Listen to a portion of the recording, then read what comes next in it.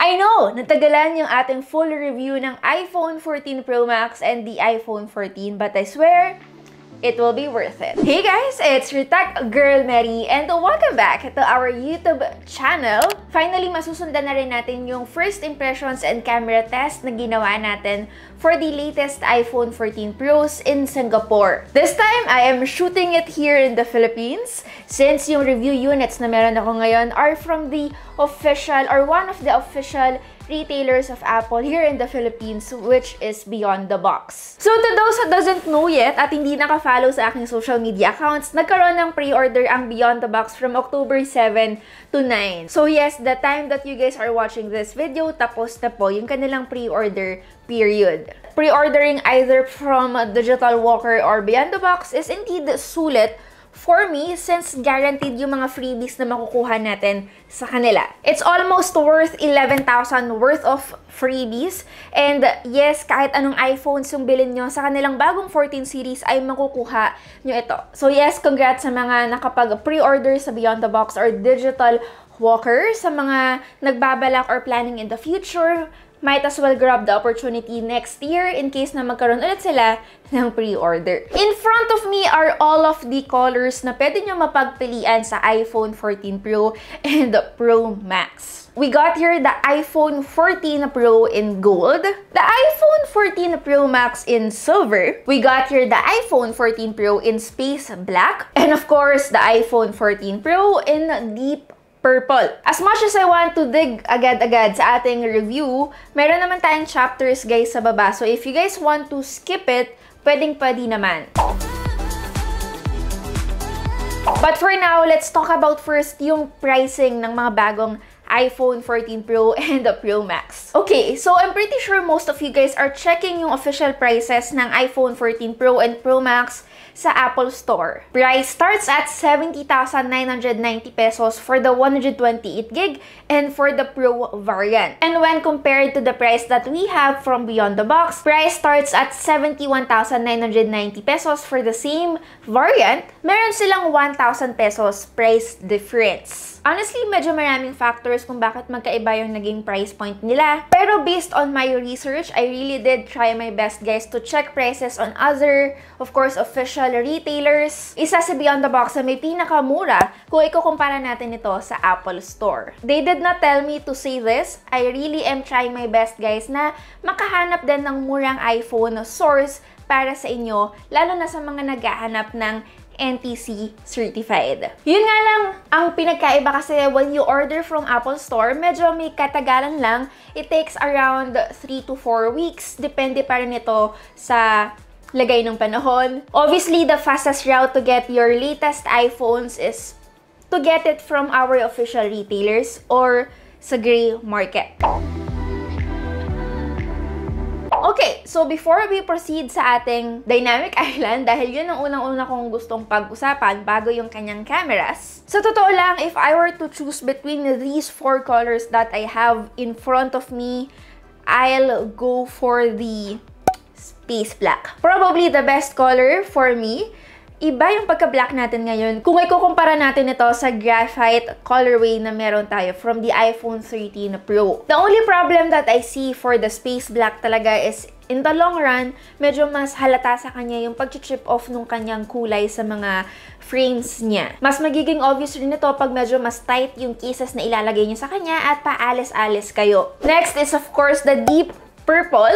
Maganda rin naman ito, pero there's something about the blue color that we saw from the iPhone 13 Pro and even the Alpine Green na talaga namang mas nagustuhan ko yon compared to the purple that we have for this one. But then again, it still is an attractive colorway. Siguro iba-iba lang talaga tayo ng preference. Now, out of all the four colors that I have here, siguro yung pinakamadaling bilhin or yung pinaka-simple pero alam niyo yon reliable when it comes to cases is probably the silver. I have here the Silver Pro Max again. And yes, when it comes to buying cases, mas magandang tignan sa puti, mas malinis, and kahit ano pang ilagay nyo sa kanya, mapa anong kulay man yan, or printed, or any textured case, it will still look good. For the gold naman, ganun pa rin yung kanyang pagka-gold kung ikukumpara natin sa previous iPhone 13 Pro and the Pro Max. But yeah, it is still looking very elegant. Pero kung naka-gold ka na previously at mag-upgrade ka ngayon,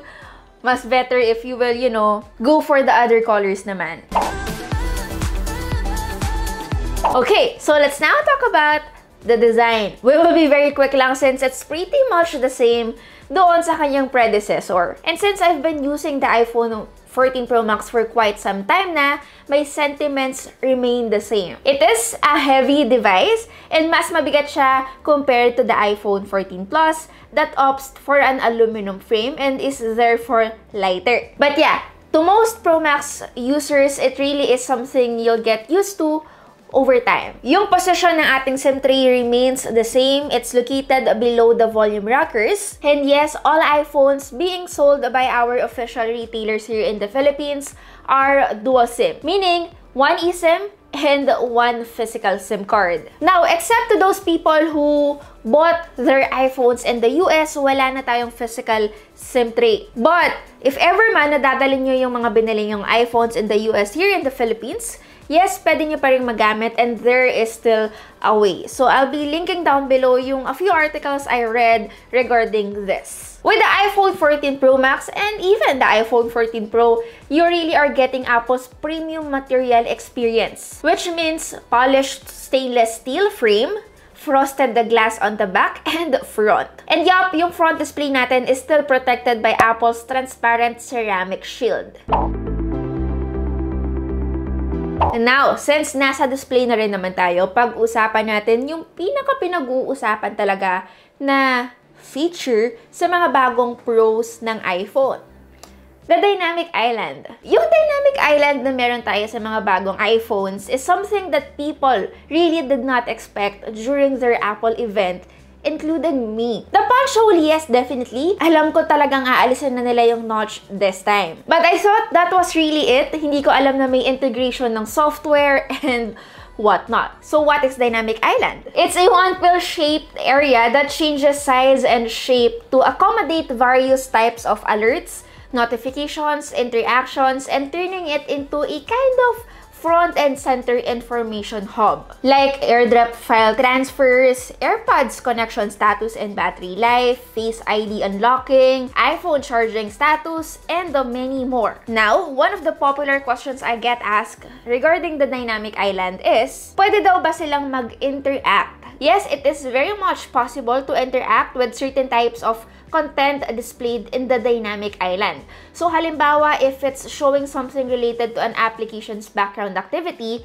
pwede nyong itap yung dynamic island to switch straight into the associated application. So halimbawa, there is a media playing, you can also long press the dynamic island to bring up a widget containing playback controls. And yung pinaka, pinaka, pinaka, pinaka common question is, can we turn off the dynamic island? There's currently no way guys para ito ay um, i-disable. However, kung distracted kayo by its animations, you can dismiss them naman by swiping left or right across the dynamic island. Of course, without affecting any related background activity. I-return niya kayo sa original pill shape status niya. Ngayon, there are also a few issues that I've seen, especially on Twitter and Reddit, regarding their dynamic island.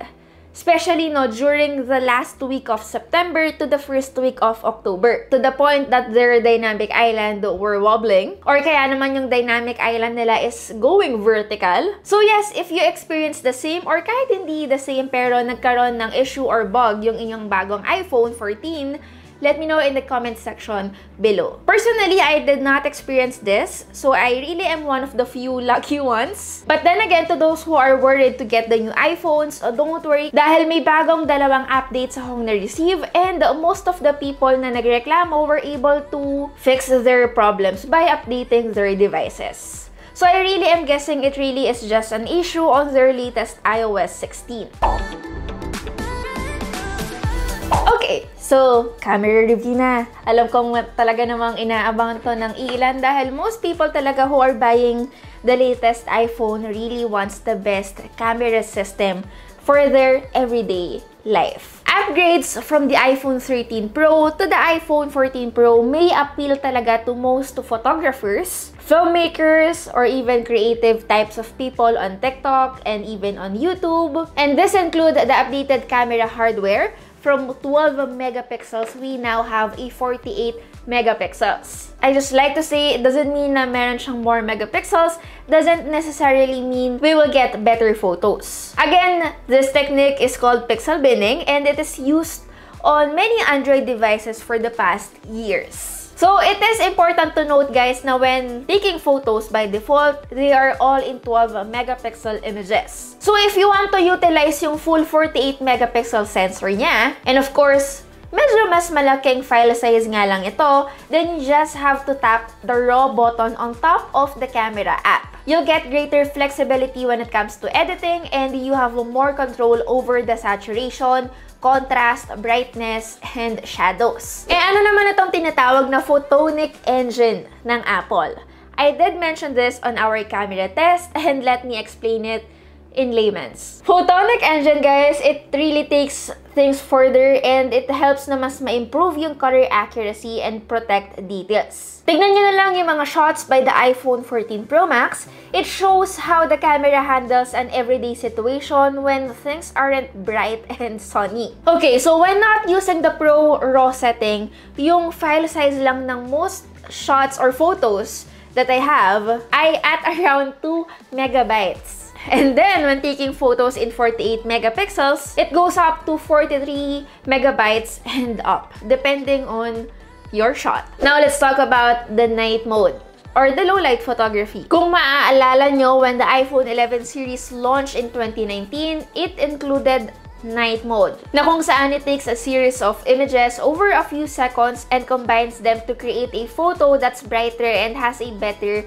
color. Three years later, may night mode pa rin tayo. Pero I do think it really improved a lot kung ikukumpara natin ito sa unang iPhone na meron nito. Most of the time, night mode in the iPhone 14 Pro and Pro Max needed just a couple of seconds to get a good photo in low light. In fairness, the iPhone 14 Pros did a solid job of capturing skin tones especially at night. Now, according to Apple, doon sa kanilang Apple event, yung ultra-wide daw natin sa mga bagong iPhone 14 Pro got a new lens. Or should we say, a new sensor, na kung saan we get sharper ultra-wide photos. The sensor combined with the photonic engine, mas nai-improve guys yung image quality in less than ideal situations. Now, the telephoto camera that we have dito sa ating mga bagong iPhone 14 Pro is basically identical sa meron tayo sa iPhone 13 Pro but it gets a lift from the 14 Pro's photonic engine. It now has a 3 times optical zoom, giving us more variety when taking everyday photos. And under good lighting, guys, telephoto camera takes good photos naman. Okay, so alam naman natin lahat na okay at maganda when it comes to optimization na ang cameras ng iPhones, even not the latest iPhone 14 Pros. But kudos to Apple talaga for having the best video quality and performance above all. All the improvements sa cameras and processing guys makes the videos look even better. Isa pa, Apple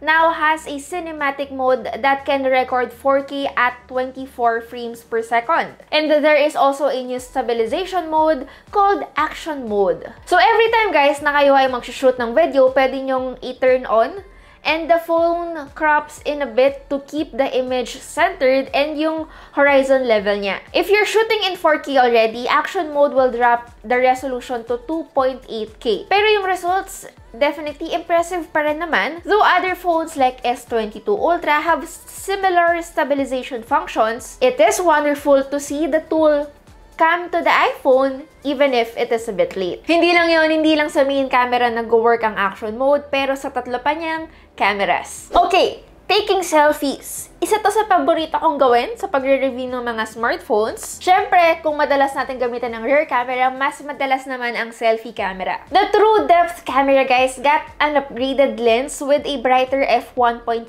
aperture. Meron na rin pong autofocus yung ating selfie camera for the first time ever on an iPhone. I know, I will not praise Apple for this. They really are late to the game. But in fairness naman, iPhone's rendered selfies so much better and mas better yung definition and mas lighter yung touch sa kanya with the way it handles skin tones. Kaya naman whenever we upload um, selfies on social media, talaga namang napakaganda pa rin niyang tignan. Okay, pag-usapan natin yung kanyang display. I know na pag-usapan natin yung Dynamic Island earlier, but then medyo kulang ito. Siyempre, it's not really all about just that. Apple introduced the ProMotion with iPhone 13 and Pro Max, wherein the screen refresh rate goes up to 120 Hz. Ngayon guys, ang iPhone 14 Pro Max and the Pro offer an even wider adaptive refresh rate range. It can go from 1 to 120 Hz. Yung 1 Hz refresh rate, guys, it is reserved for the new always on display mode. Yes, that's right. Sa mga hindi masyadong alam ang mga nangyayari, may always on display na po tayo sa mga bagong Pro ng Apple. So, instead of having a black and white screen, katulad ng nakikita natin sa mga Android devices, dinidrain ng Apple guys yung brightness and color and leaves visible information like date, time, focus mode, widget details, and photos you might have as your lock screen. It will also show media that you're playing, like for example, nagpapatugtog kayo sa Spotify, it will remain there. So, totoo lang, hindi ako fan ng always on display na meron tayo sa Apple ngayon. I mean, yes, I did wait for Apple to adapt the always on display that we see on Android devices. But then again, sometimes kasi guys, parang masyadong maraming nangyayari. I don't need the full wallpaper and widgets and album most of the time. Though, in fairness, it is very efficient at 1 Hz, it doesn't eat that much battery. At least 1 to 2% power lang per hour kapag ito ay naka-off screen. Although, syempre, it still adds up. Pero additional 1 to 2 hours lang naman yung nakukuha ko every time that I turn off the always on display. So yes, yung mileage nyo when it comes to battery life still depends on what you do and what else you turn off. But definitely, I did notice na mas masarap gamitin outdoor yung Pro Max because of the battery life nga. The only problem probably that I have is charging. Well, according to Apple, you can get 50% of battery charge in just 30 minutes. But in my case, we were only able to get around 40% of battery charge in 30 minutes. Of course, this is using the official Apple 20 watts power brick. Okay, so before we totally end this review, alam kong napakahaba ng video natin, pero if you reach this part, congrats at mag-comment kayo sa baba kung nandito na kayo dahil malapit naman na tayo matapos. There are two things that is also new sa mga bagong iPhone 14 and that is SOS emergency via satellite and the crash detection. The iPhone will use an array of sensors and algorithms para ma-detect when you've been in a car accident and will contact emergency services if you are unresponsive. Similar thing that I did discuss ating Apple Watch Series 8 review. But then, since medyo na-late yung ating review, medyo of course nakaabot tayo doon sa recent rumors.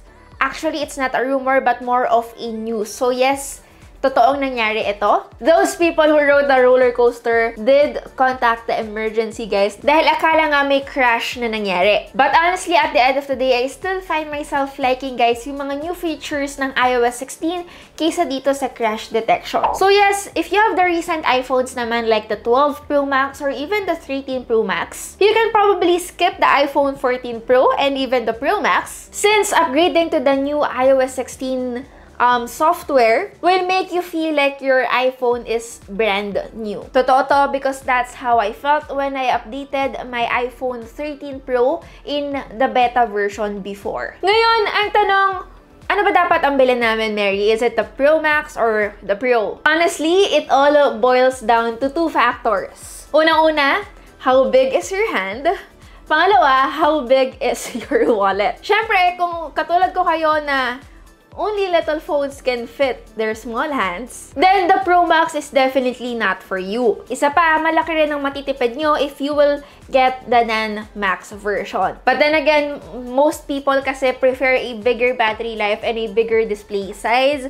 So again, to each their own. So yes, based on the videos that you guys are seeing, it may seem like a perfect phone, but there are a few letdowns na na-experience ko. Not much improvement on parts that are typical iPhones are good at. Halimbawa na lang battery efficiency. Again, when it comes to this category, I am a bit disappointed. And of course, I do think Dynamic Island needs more third-party support talaga. Now, when it comes to 48 megapixels photos, they are nice to be honest. But then you'll have to experience slow shutter, i-give up nyo rin yung live photo, and it will really take up your storage very quickly. So yeah, that's pretty much it.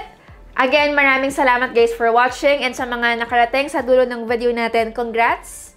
Okay, so to those who reach the end of this video, napakaswerte nyo because you'll get a chance to win the Momax QMag Power Magnetic Wireless Battery Pack and of course the Urban Ears earphones. Sa mga naka-iPhone 12 pataas, talaga namang may enjoy nyo to, especially this magnetic power bank. Kung hindi man naka-iPhone 12 yung mananalo, okay lang, you can definitely sell it or give it to someone you know na mayroong iPhone. So yeah, all you need to do is subscribe to this YouTube channel and share this video on Facebook and must be in public and just use the hashtag MaryXiPhone14 So yeah, that's pretty much it. Again, it's your tech girl Mary and see you in our next video. Bye guys!